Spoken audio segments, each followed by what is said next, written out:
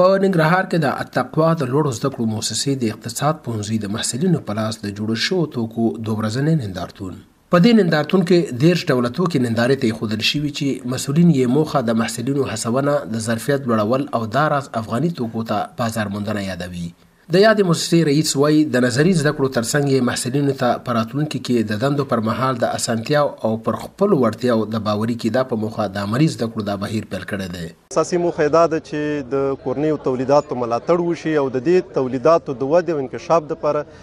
د پانګوالو او سوداګرو توجه جلب شي. دویمه موخه یې دا ده چې په محصلینو کې هغه د نوښت او ابتکار قوه چې دی هغه پیاوړې شي. محصلین د فراغت نه وروسته باید یوازې په دولتي دندو باندې تمرکز ونه کړي. په همدې حال کې د ننګرهار پوهنتون د علمي چارو مرستیال د یادې موسسې دغه چاره ستایي او د ملاتړ ترڅنګ د هر راز همکارۍ ډاډ ورکوي. موږ سپورټ کوو په دې ډول سره چې تاسو چې کوم تولیدات کوئ بې د دې نه چې موږ دلته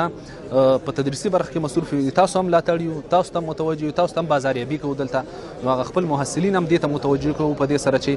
د تیوریکي زده کړو ترڅنګ چې تاسو د اقتصاد په برخه کې تر سره کوئ عملی زده کړو ته هم باید متوجه په یاد نندارتون کې هغه محصلین چې خپل تولیدي توکي یې نندارې ته ایښي د عملي زده کړو او افغاني توکو ته د بازار موندنې په برخه کې دغه ډول اقدامات ګټور بولي. محصلینو ته لکه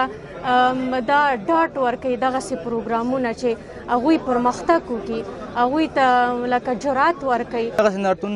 مهمه ګټه ده چې خپل هغه کوم چې څه زکړي هغه په لار باندې واچي خپل پروډکټ تولید وکړي ترڅو خپل هوادوالو ته دغه قناعت ورکړي چې یعنی موږ خپل هم دغه یو څه کولای شو تاسو پروګرامونه د مسولین لپاره برابر کړي ترڅو پورې هغه د هوادوالو هغه تجاران چې کوم دي دغه مخ راوړي او د خپل کورني تولیداتو د ته بازار موندنه وشي که څه هم دغه ډول نندارتونونه د افغاني تولیداتو د بازار موندنې په برخه کې اغیزمن بلل کیږي خو تر ډیره د عامو خلکو غوښتنې دا دي چې افغاني تولیداتو د ملاتړ لپاره دې په بازارونو کې د بهرنیو توکو پر ځای افغاني توکي وپیري.